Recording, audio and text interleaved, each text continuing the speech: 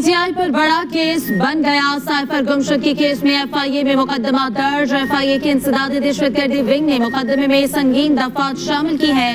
उधर सबक वजी अजम के प्रिंसिपल सेक्रेटरी आज़म खान की ए में तलबी साइफर के हवाले से सवाल पूछे गए। आज़म खान दो घंटे से ज़्यादा एफ़ आई एफआईए हेडक्वार्टर में मौजूद रहे।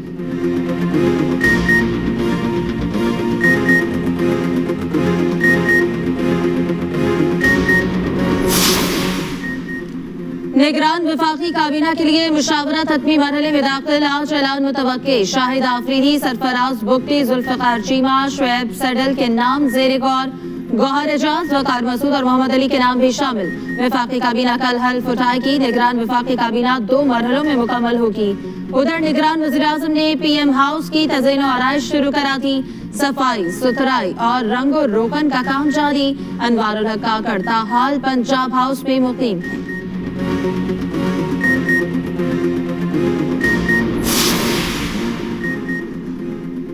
आम इंतबात नए हल्का बंदियों के तहत होंगे या पुरानी के? बड़ा सवाल खड़ा हो गया। इलेक्शन कमीशन में नई हल्का बंदियों से मुताल अहम इजलास।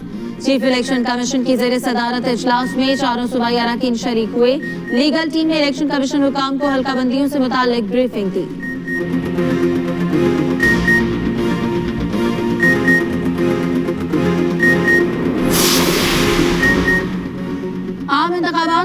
रोज में कराए जाए, सुप्रीम कोर्ट में दरखास्त दायर। दरखास्त सुप्रीम कोर्ट बार एसोसिएशन ने मुश्तर मफादात काउंसिल के फैसलों के खिलाफ दायर की। सुप्रीम कोर्ट से इलेक्शन कमीशन हर सूरत नब्बे रोज के अंदर इंतबात कराने का हुक्म जारी करने की इस्तः दूसरी जानब, वाइस चेयरमैन तहरीक इंसाफ शाह महमूद कुरैशी का निगरान वजी अजम को खत, आम इंतबात बर वक्त कराने का मुतालबा।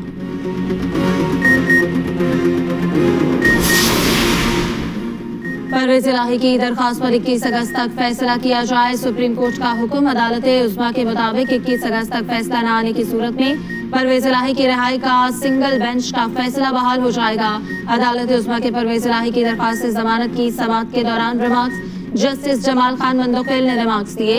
एक दूसरे के खिलाफ मुकदमेबाजी अच्छी रिवायत नहीं। अदालतों को मुलविस करने की बजाय मिल बैठ कर मसाइल हल करें।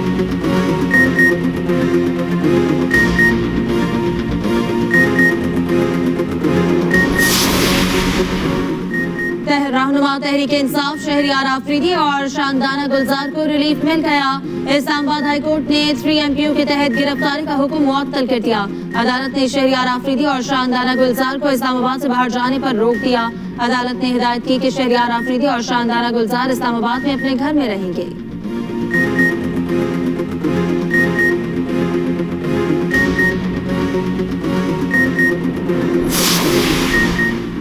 पेट्रोलियम मसनूआत की कीमतों में इजाफा, मुल्क में महँगाई का तूफ़ान उमड़ाया, दुकानदारों ने अशिया जरूरिया की कीमतों में खुद साख्ता इजाफा कर दिया।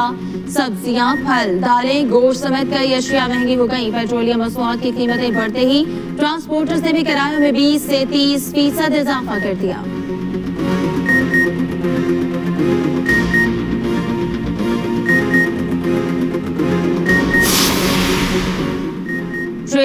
सफ़र भी महँगा। पाकिस्तान रेलवे ने ट्रेन के किरायों में 10 फ़ीसद इजाफा कर दिया। इजाफा तमाम मेल, एक्सप्रेस और पैसेंजर ट्रेनों की तमाम कोचेस के किराए में किया गया है।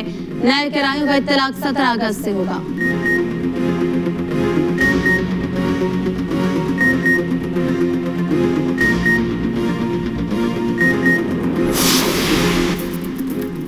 वहाब्रास का इंटरनेशनल क्रिकेट छोड़ने का ऐलान, कौमी टीम के सबक फास्ट बॉलर रिटायरमेंट का ऐलान करते हुए आप पीता हो गए। अड़तीस साल वहाब्रास ने सत्ताईस टेस्ट और इक्यानवे वनडे मैच खेले।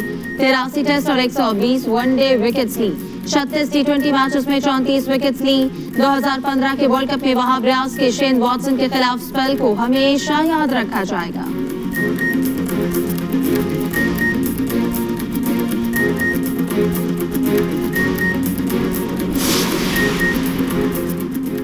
फीफा वुमेन वर्ल्ड कप का दूसरा सेमीफाइनल जारी। इंग्लैंड को ऑस्ट्रेलिया के खिलाफ एक गोल की सबकत हासिल।